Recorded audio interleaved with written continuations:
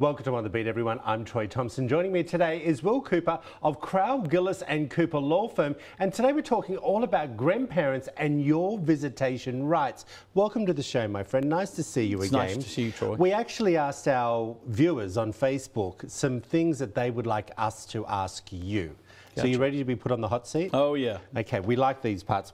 As a grandparent, do I have any visitation rights with my grandchildren? Now, I would assume they're just saying grandparents are allowed to come and visit whenever they want?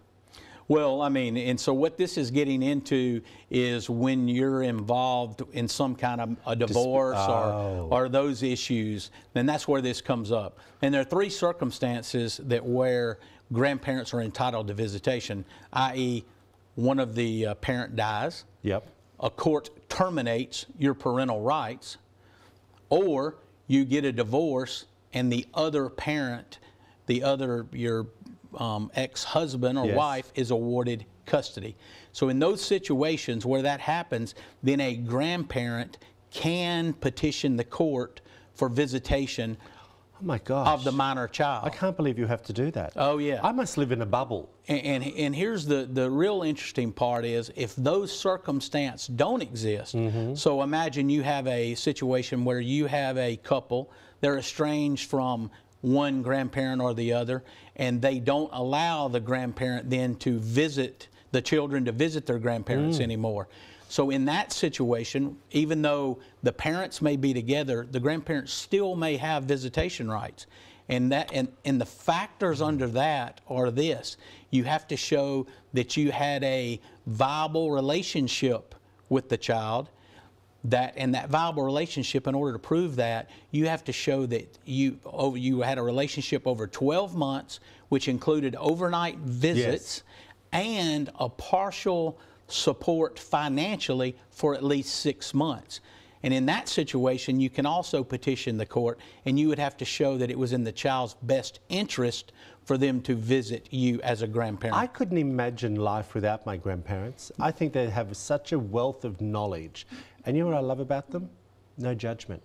Correct. They take you how you are. Correct. Uh, one of our viewers said, if that's the case, how do I start the process? So you start the process by you literally, you definitely need an attorney in this because you're going to have to file a petition for visitation rights with our Chancery Court here in Lowndes County or the Golden Triangle, and you're going to have to go in front of a judge and petition the court for those to be allowed, and you will have to prove the circumstances that we just discussed. About. How often do you see something like this in the state of Mississippi? You, you would really be surprised a, a, a, lot because what you see so many times, well, of course, there are parents that are getting divorced every day, and so they run into the circumstance a, a lot. But then you get into the point where these, you know, kids that have that have children yeah.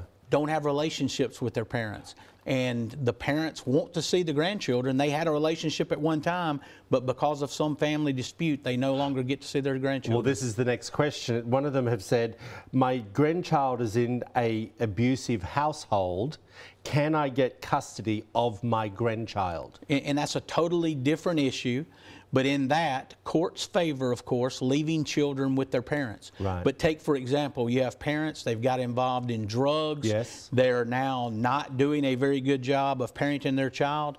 Then the grandparents have a right to come in and actually get custody of that grandchild. Another option is a guardianship there.